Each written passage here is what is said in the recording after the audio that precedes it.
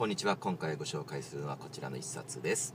妻は最高の投資物件である。というなかなか、えー、ショッキングな衝撃的なタイトルですけれども、えー、非常に面白い内容でした。でこの本はいわゆる、まあえー、奥さんを大切にしましょう。という内容ではあるんですが、え精神論的なものではなくこの論理的な部分ですね。例えば、え奥さんのこう働いていることをこう労働金額に換算した時には、え3億円の価値になる。っていうことですとか例えば浮気してえ離婚した場合には慰謝料だったり、え財産分与だったりいろいろなもろもろで、2億円を失うことになるというようなこと。でこの金銭的なメリットっていうところから入っているところが非常に、え特徴的な一冊で非常に面白かったです。そして、えその後には実際のモデルケースですね。奥さんを大切にして成功したケース大失敗したケースの実例なども載っていましてとても面白いのではないかと思いました、えー、ぜひ読んでみてください。